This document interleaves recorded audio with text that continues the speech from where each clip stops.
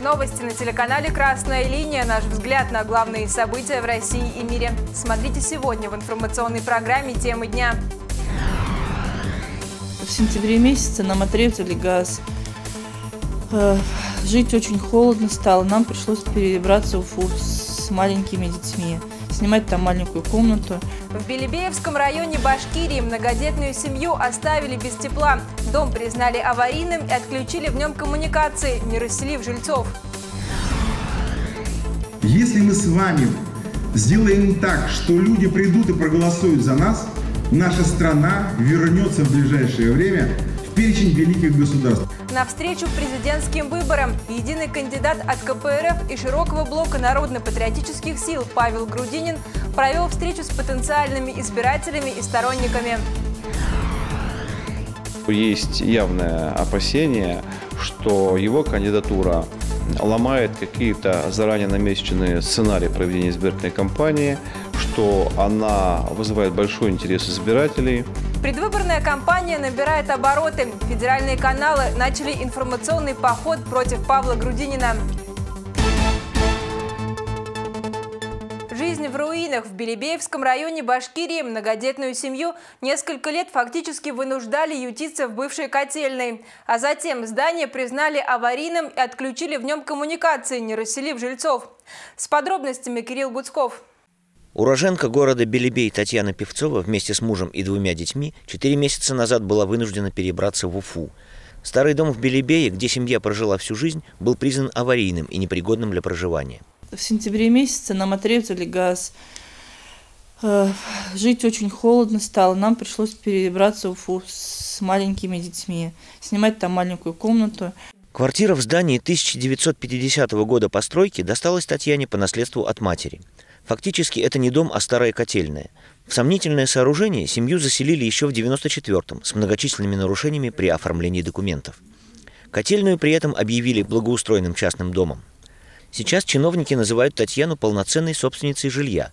Ремонт в котельной делать отказываются, переселять семью тоже. Администрация не хочет давать даже комнату в общежитии мотивируя тем, что у них ничего нет, хотя у нас, я прекрасно знаю, переселенческий фонд есть. Ну, просто упрямится. Активисты Всероссийского женского союза «Надежда России», действующего при КПРФ, оказывают Татьяне помощь.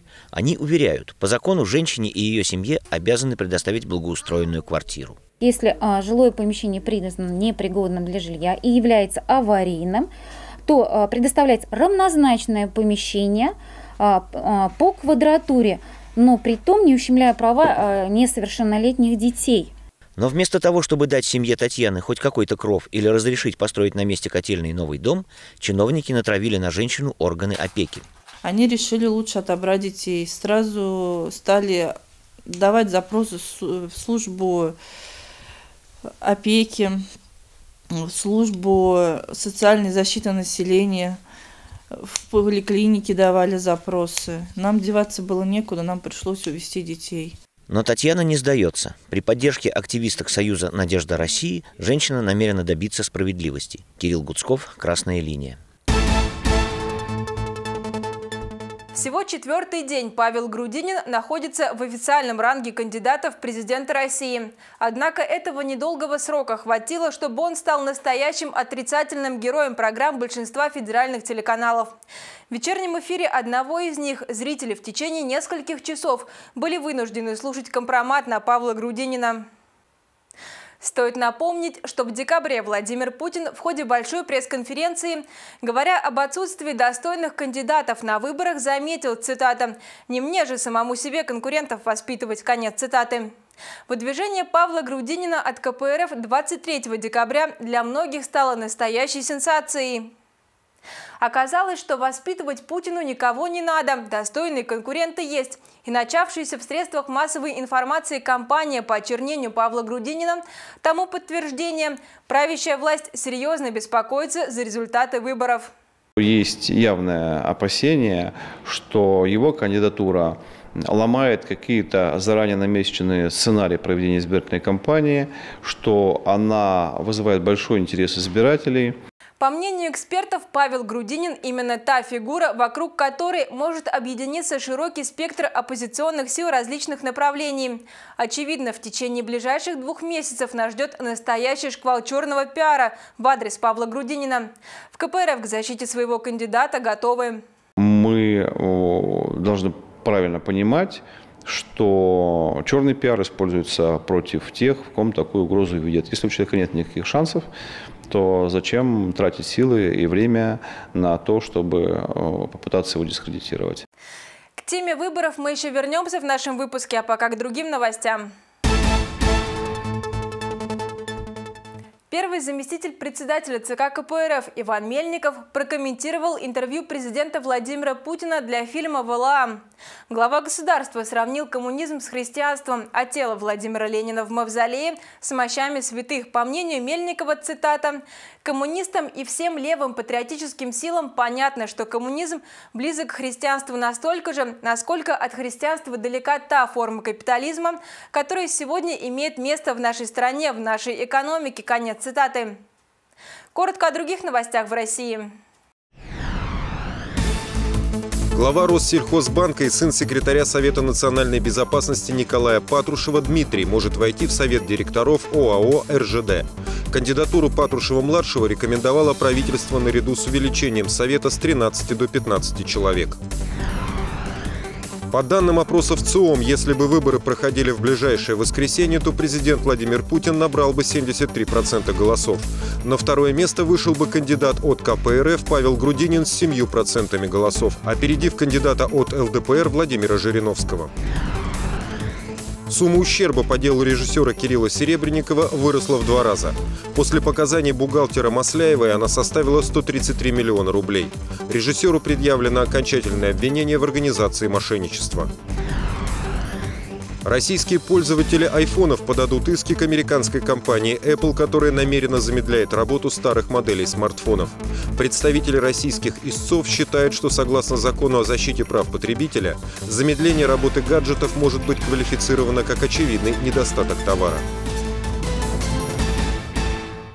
В Москве состоялась встреча Павла Грудинина с доверенными лицами и сторонниками. В ходе мероприятия единый кандидат в президенты от КПРФ и Народно-патриотических сил России рассказал о ключевых пунктах своей программы «20 шагов к достойной жизни каждого человека». Участники встречи также обсудили тактику и стратегию предвыборной борьбы. Подробнее Георгий Крысенко. Это первая большая встреча Павла Грудинина с москвичами и гостями из других регионов вызвала такой большой интерес, что не всем удалось попасть в зал Центрального дома литераторов. Для тех, кому не хватило мест, в фойе была организована прямая трансляция. Это знаковое мероприятие, первое мероприятие. А, огромнейший интерес. Ну, в пять раз больше людей, желающих, а, хотели а, на эту встречу попасть. Просто мы ограничены зданием и тем количеством стульев, которые есть в этом здании. Если бы заказали стадион, стадион, убежден, стадион был бы наполнен. Здесь собрались депутаты Государственной Думы и партийный актив КПРФ, многочисленные представители широкого фронта народно-патриотических сил, творческой интеллигенции, ветеранских организаций, экономисты и политологи, учителя и врачи.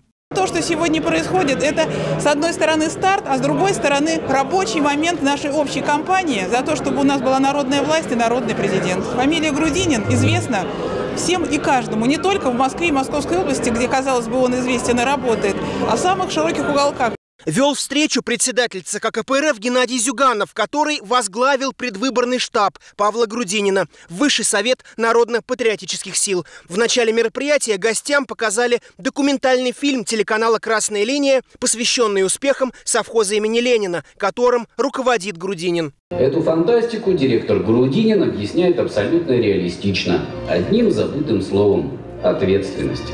Я от имени штаба который создан в Центральном комитете Компартии России вместе с объединенными левыми и национально-патриотическими силами, приветствую вас на этой встрече.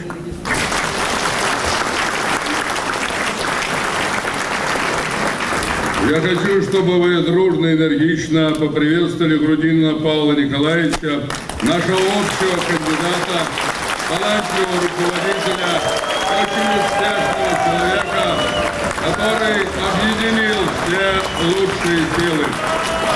Пожелаем Павлу Николаевичу успехов в этой праведной и очень важной для всех нас борьбе.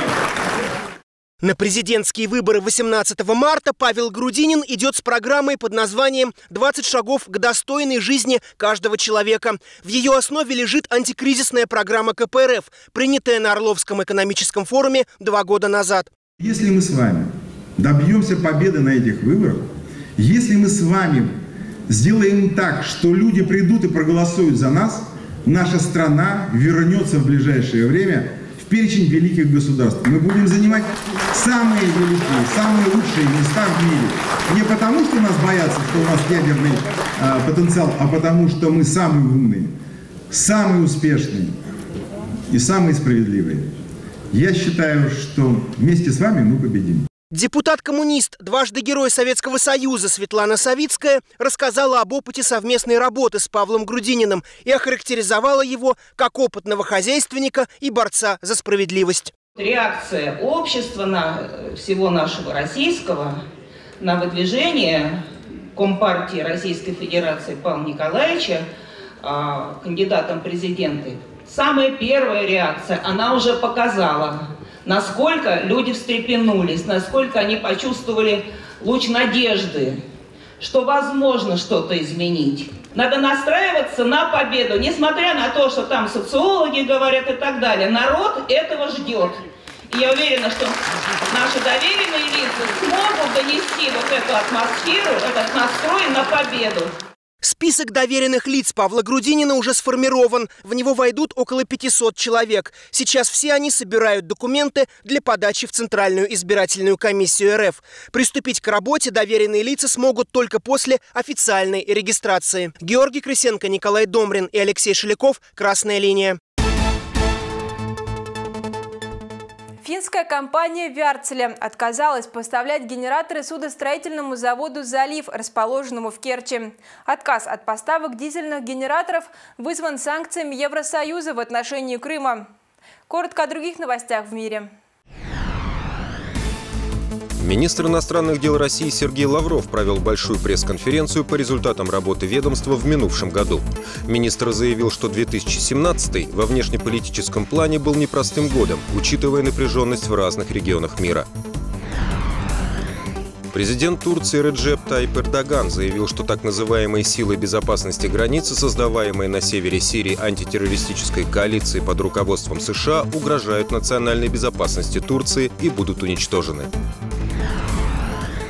По сообщениям мировых СМИ, во Франции задержан швейцарский бизнесмен Александр Штутхальтер, который предположительно связан с делом российского сенатора Сулеймана Керимова. Бизнесмена подозревают в том, что он был подставным лицом Керимова в ходе операции по приобретению недвижимости и отмыванию средств.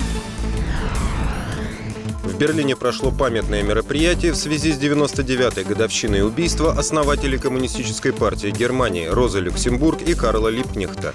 В траурном марше и возложении венков на могилу революционеров приняли участие лидеры немецкой левой партии. Из-за драки на ножах в Пермской школе номер 147 получили ранения 15 человек. Как только поступили сообщения о чрезвычайном происшествии, туда прибыли сотрудники МЧС, полиции и скорой помощи. Инцидент произошел в 10 часов утра. Драка между двумя подростками 15 и 16 лет началась в коридоре. Затем они ввалились в класс, где занимались четвероклассники. Учительница попыталась их остановить, но была ранена в шею. Учащиеся также получили ножевые ранения. Зачинщиков драки задержали. Одного из них увезли на скорой помощи в наручниках. Также госпитализировали 12 детей с резанными ранами головы, рук, груди и шеи. Ученикам с незначительными травмами оказали помощь на месте. Двум подросткам и учительнице сделаны операции. Они находятся в реанимации в тяжелом состоянии. Зачинщики драки также ранены. В полиции сообщили, что один из подозреваемых ранее состоял на учете в психоневрологическом диспансере. Как сообщает Следственный комитет Российской Федерации по Пермскому краю, по данному факту возбуждено уголовное дело по статье о покушении на убийство двух и более лиц. На этом наш выпуск завершен. Всего доброго, до свидания.